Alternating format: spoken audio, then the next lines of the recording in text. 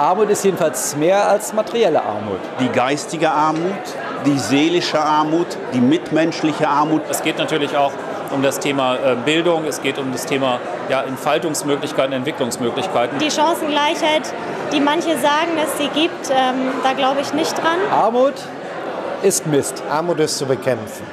Beim letzten Mal war Jörg Asmussen hier und er hat erzählt, dass er seinen Karriereweg vom persönlichen Referenten zur EZB ganz gut geschafft hat. Sie haben es auch geschafft vom persönlichen Geheimsekretär, wie es im Kölner Schematismus so schön heißt, zum Kardinal von Berlin. Man sieht also, aus persönlichen Referenten kann doch was ganz Interessantes werden. Ja, wunderschönen guten Abend, meine sehr verehrten Damen und Herren. Mein Name ist Volker Wiebrecht. Ich bin der persönliche Referent von Michael Wedell. Vielleicht wird er noch was sagen. Wer von Ihnen ist denn katholisch? Das will man ein Heimspiel nennen, Herr Wölki. Nehme an, alle, die die Hände so haben, sind Protestanten. Katholik. Ja, ich bin katholisch. Ich bin evangelisch. Ich bin Alevit. Wir sind quasi die Protestanten des Islam. Rheinisch-katholisch. RK ist ja der Ab die Abkürzung für römisch-katholisch. Und äh, im Rheinland sagt man ja rheinisch-katholisch. Ist jemand von Ihnen Atheist? Ja. Materialist? Jetzt habe ich bitte mal alle Hände oben, oder?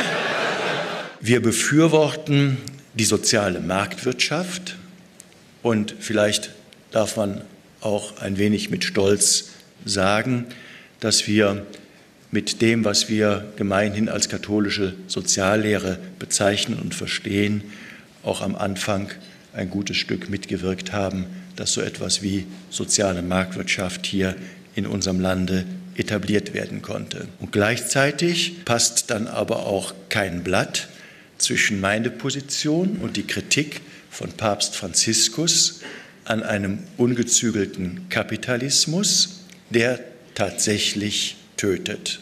Womit ich dann jetzt endlich bei dem Thema wäre, zu dem Sie mich eingeladen haben.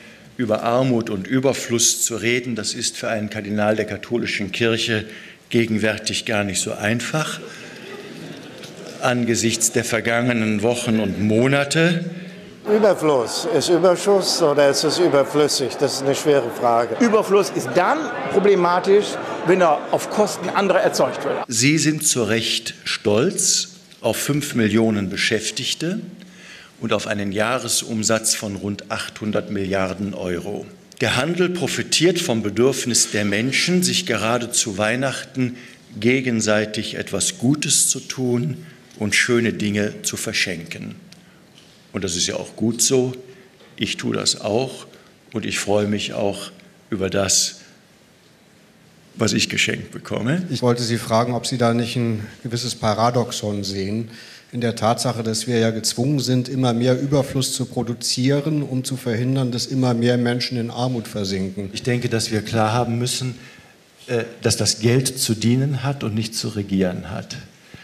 Und dass der Mensch im Mittelpunkt der Wirtschaft steht und nicht nur der Profit. Dass wir nichts gegen Profit und Gewinnmaximierung haben dürfen, aber dass der Profit immer auch ethisch wird, wenn er in entsprechender Weise auch dem Gemeinwohl mit zugeführt wird. Erst wenn ich selber genug habe, komme ich doch überhaupt in die Lage, sage, oh, ich bin satt, es geht mir gut, jetzt kann ich mich den anderen zuwenden, ich teile das gerne. Wo fehlt es denn dann? Also wenn wir das alle schon eigentlich verstanden haben, oh, wir, denen es ja eigentlich gut geht.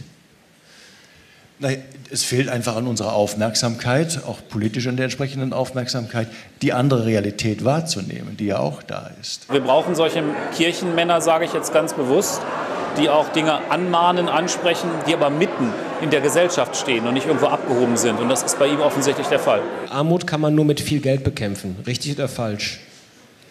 Armut kann man zunächst mal mit Bildung bekämpfen. Dass die äh, Strategie der Armutsbekämpfung nicht darin besteht, Menschen einfach Geld zu geben und sie möglicherweise dann auch in dieser Abhängigkeit äh, zu zementieren, sondern dass die wichtigste Strategie zur Armutsbekämpfung eben Bildungsreichtum ist dass Menschen die Möglichkeit bekommen, in einen ordentlichen Beruf zu gehen und damit sozusagen aus ihrer eigenen Händen Arbeit äh, auch leben können. Ich wünsche mir, dass es zwischen Kirchen, den Kirchen und dem Handel noch mehr Kooperationen gibt, um Armut entgegenzuwirken. Wir müssen uns frei nach dem Motto der Caritas, Not sehen und handeln, konkret in der Bekämpfung von Armut engagieren. Und hier besteht schon seit langem eine enge Zusammenarbeit zwischen dem Handel, den Kirchen und anderen sozialen Einrichtungen, wie beispielsweise den Tafeln. Oder der Charity Baum, den ich in einem großen Berliner Kaufhaus entdeckt habe. Man darf da nicht nur nach dem Staat rufen. Der Staat darf und kann das auch gar nicht alleine machen. Der Staat muss äh, einfach die Rahmenbedingungen dafür schaffen.